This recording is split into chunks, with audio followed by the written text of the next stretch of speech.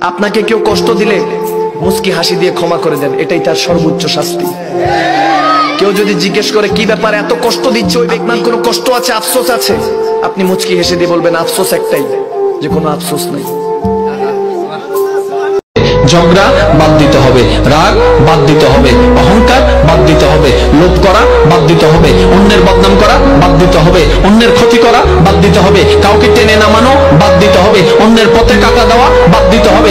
কারোর রাস্তায় বাঁধা হওয়া, বাদ দিতে হবে। কারোর বিরুদ্ধে বলা, বাদ দিতে হবে। তো এগুলো বাদ দিবেন কীভাবে? নবীর একটা হাদিস সবসময় মনে রাখবেন, আকিফুল লিসান, ও আমার উম্মত, সফল যদি হতে চাও, জিব্বার মধ্যে তালা লাগাই দাও। যতটুক বলা, ততটুক বলবা। বেশিও বলবা না, কমও বলবা না। কারণ জিব্বে বেশি চলতে থাকলে তোমার ইচ্ছা না থাকলেও